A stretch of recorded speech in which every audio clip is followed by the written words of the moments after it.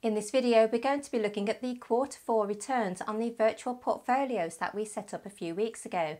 And I'm also going to share with you how my own simple investment strategy is returning more than 18% on my own investments. So all is revealed in this video. I'm Helena from Bouncing Back, the Financial Freedom Channel, helping you to achieve your financial goals. So be sure to hit that like, share, comment and subscribe.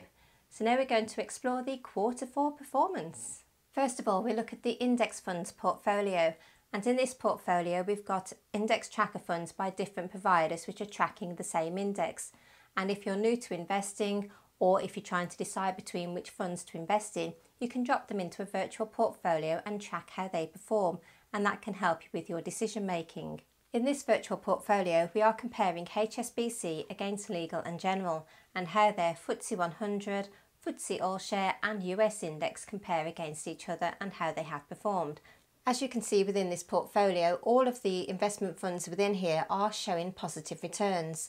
And when you look at the FTSE 100 index between HSBC and Legal and General, they have both returned more than 9%. When looking at the FTSE All Share between HSBC and Legal and General, the HSBC one has returned just over 10% returns and the Legal and General has returned 9.47%. When we look at the US index, the performance hasn't been as good as the FTSE 100 or the FTSE All Share and the Legal and General US index is showing 4.58% return and the HSBC American index 3.49%. The key thing to note here is that all of these are low cost index tracker funds, so they are really cheap ways to invest in the stock market and they're all showing positive returns despite all the stock market turmoil. And over the last quarter, the FTSE All Share and the FTSE 100 has performed particularly well. A point to note with this virtual portfolio of index funds here is that if you were building a portfolio with these index funds within them, then you wouldn't have more than one of the same index. In this virtual portfolio, we're using it to compare two different providers to help with decision making. Here we're looking at the active funds virtual portfolio that I set up on the Interactive Investor research account. And here I selected three very popular active funds. All of these have positive returns the Artemis Global Income has performed particularly well with just shy of 14% returns over the last quarter. The Fundsmith Equity and Lindsell Train, they haven't performed anywhere near as well. And if you compare that again to the index trackers we just looked at, then they haven't performed particularly well, but they are in the positive. And remember, you are paying quite a large ongoing charge for these funds, so that will be eating into your returns as well. If you were to hold all of these funds in your portfolio, then if you look at the totals row at the very bottom of the table, and that shows an overall return of 6.73%. Next up, we're going to take a look at shares and how the virtual portfolio of shares has performed over the last quarter. In the virtual portfolio of shares, I chose some very popular companies to put in there. So they include AstraZeneca, Coca-Cola, Microsoft and Unilever. And when we look at the results table, you can see that the shares have not performed particularly well over the last quarter. These results show why investing in individual shares is a more risky game. But if I was invested actually in any of these companies, I think they're good, solid companies. So my investment horizon would be the long term. I'd be looking at about holding these investments for about 20 years or more. So these poor investment returns over the last quarter wouldn't bother me that much because I would be looking at the long term. Now we're going to look at the virtual portfolio of low cost Vanguard funds. And to begin with, it is a three fund portfolio, so a very basic beginner portfolio with a 60-40 split between equities and bonds. So this simple portfolio is made up of the FTSE Developed World excluding UK index, the FTSE UK All Share and the Vanguard Global Corporate Bond Index. And here you can see positive returns for all of these funds. And the FTSE All Share has shown the best return of just over 11%, the FTSE Developed World 6.77%, and the Global Corporate Bonds 1.94%. And that gives an overall investment return of 6.01%.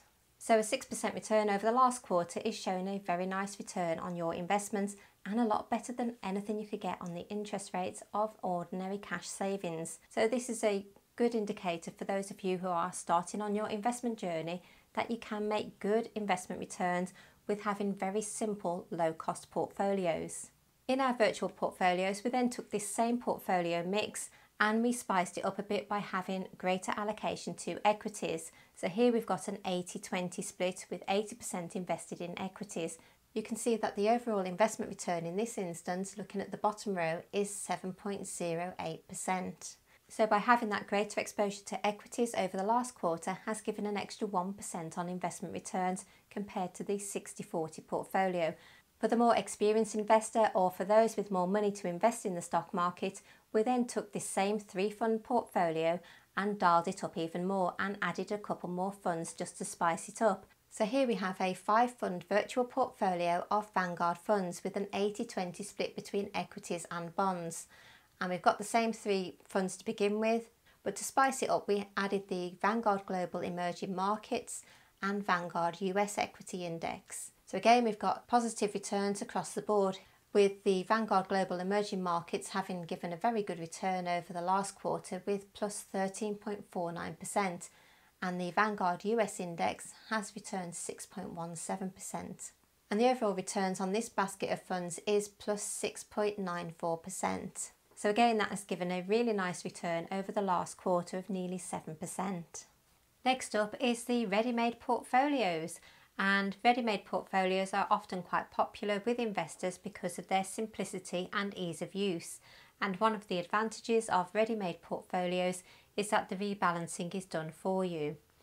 And in the virtual portfolio we're looking at here, we're looking at the Vanguard Life Strategy funds, of which there are five. So starting at the top of the table, we have the Vanguard Life Strategy 100, and that has performed the best over the last quarter and that has given a return of 10.34%. Next we have the Vanguard Life Strategy 80 which has returned 8.63%. Then the 60% equity has returned 6.84% and then the lower the equity exposure then they are getting lower returns of 4.96 for the Life Strategy 40 and 3.20 for the Life Strategy 20. The return shown in the totals row at the bottom of this table is not relevant here because if you did choose to invest in the Vanguard Life Strategy funds then you would only choose one of those investments this brings us nicely onto my simple investment strategy and I invest through Vanguard and I choose to invest in the Vanguard Life Strategy 60% equity because that suits my attitude to risk and my investment horizon. In the last three months, my Vanguard Life Strategy Fund has returned me 5.69%, and the overall return since opening the Life Strategy 60 in my Vanguard account is 18.63%. So I'm really pleased with those investment returns. I've had the account open for about 18 months now, so to get 18.63% in 18 months is really good in my view, particularly had I've kept that money, say, in a cash ISA or other cash savings. As you know, I'd have got next to no interest on that money, so I am really pleased. And it just shows that you don't need to have a complicated portfolio to get really good investment returns. Just keeping it nice and simple and low cost can work wonders as well. Of course, the return that you get on your investments is dependent on the price that you paid initially as well, and the price you pay if you do monthly investments, what price you're paying each and every month and also the amount of time that you have been invested and whether dividends have been reinvested as well. So here we're going to look at the results that we've covered off in this video and see which ones are the top performers. So when looking at the results of the virtual portfolios and how they have performed in the last quarter of 2020, Vanguard Life Strategy funds have got three spaces in this top five. The top spot goes to Vanguard Life Strategy 100 with 10.34% returns. So with any of those investments then I would have been really pleased but like I say I'm invested in the Vanguard Life Strategy 60 and have been for the last 18 months and my overall return is coming in at 18.63% since opening the account. So to summarise, these virtual portfolios have done really well in the last quarter of 2020 despite a very turbulent year and another lockdown in the last quarter. Now, this also shows the benefit of low cost index tracker funds. And remember, the lower you can keep your costs, the more returns that you get to keep. Remember, don't necessarily copy these virtual portfolios that we've walked through here. You need to make your own investment decisions based upon your attitude to risk and your own investment strategy and goals.